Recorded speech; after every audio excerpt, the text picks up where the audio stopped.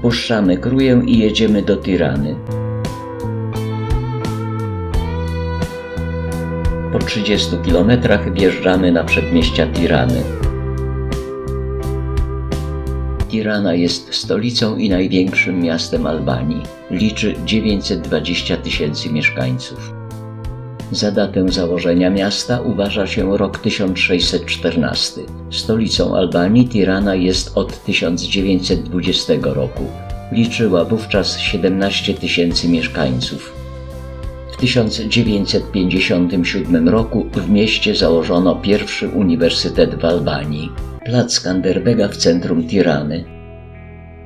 Meczet Etema Beja ukończony w 1823 roku był jedynym czynnym meczetem za czasów Envera Hodży, ale dostępnym tylko dla obcokrajowców. Pomnik Skanderbega stoi w miejscu, w którym do 1991 roku stał pomnik Stalina. Kopuła i dzwonnica ortodoksyjnej katedry Zmartwychwstania Pańskiego. Teatr Opery i Baletu oraz Biblioteka Narodowa.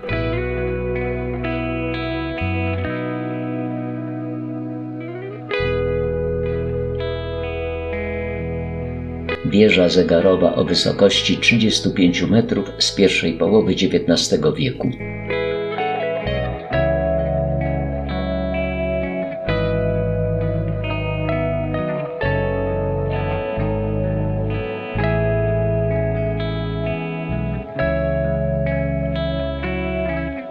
Reprezentacyjny bulwar męczenników narodu.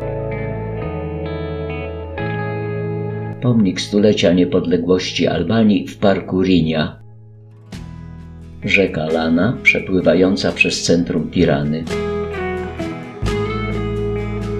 Siedziba jednoizbowego parlamentu złożonego ze 140 członków wybieranych na czteroletnią kadencję. Siedziba premiera albańskiego rządu. Dzielnica Blok, w której niegdyś mieszkali prominentni działacze komunistyczni. Willa Envera Hodży.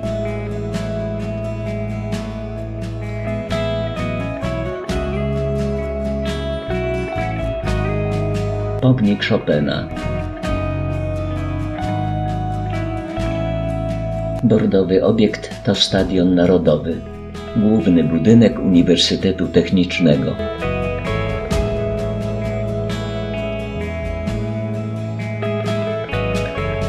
Biały budynek to Muzeum Archeologiczne. Akademia Sztuk Pięknych. Wszystkie te obiekty znajdują się na końcu bulwaru Męczenników Narodu przy placu Matki Teresy z Kalkuty. Rankiem następnego dnia udajemy się na zwiedzanie bunkra numer 1. bunkra idzie się najpierw przez długi tunel, a potem drogą prowadzącą w górę.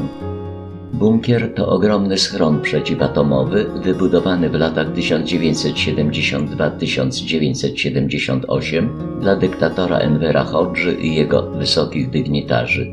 Do zwiedzania został udostępniony w 2016 roku. Prywatne pomieszczenia dyktatora.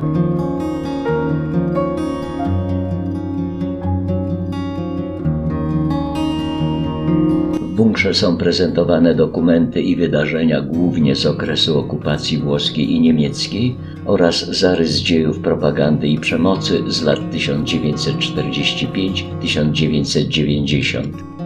Enver Hoxha uważał, że któryś supermocarstw lub inny nieznany mu wróg będzie chciał zaatakować Albanię. Tak się nigdy nie stało, ale cały kraj został usiany mniejszymi i większymi bunkrami, których jest podobno kilkaset tysięcy. Bunkier ma pięć podziemnych pięter i 106 pomieszczeń.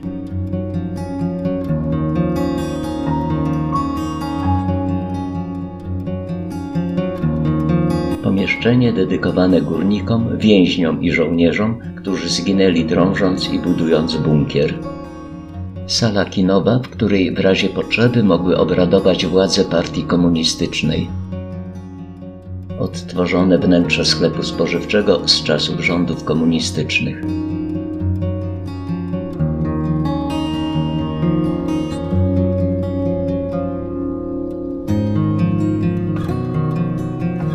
Tędy wychodzą zwiedzający bunkier.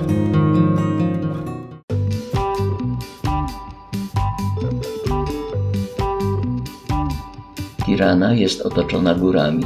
Niedaleko bunkra numer 1 znajduje się kolejka gondolowa Daiti Express. Kolejka ma 4354 metry długości, a przejazd trwa 15 minut. Kolejka dojeżdża na wysokość 1200 metrów, pokonując 800 metrów różnicy poziomów. Można stąd oglądać panoramę Tirany.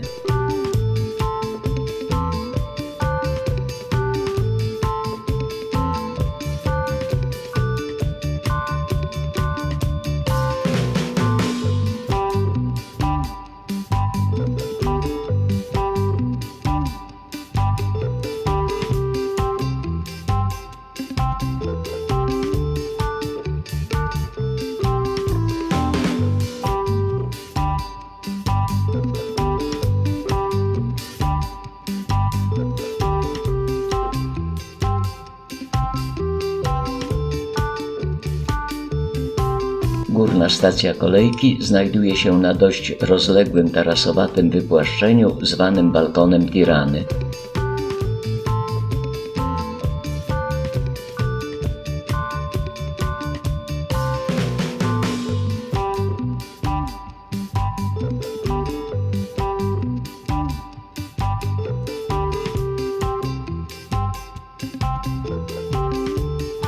Można tu zażyć konnej przejażdżki lub spróbować swych sił na strzelnicy. Jest tu także 18-dołkowy minigolf.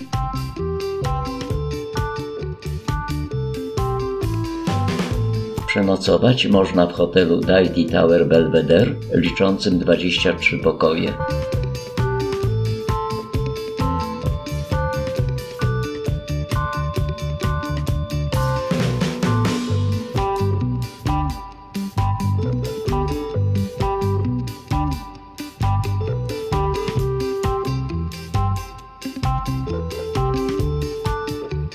Zjeżdżamy kolejką w dół, kończąc nasz pobyt w Tiranie.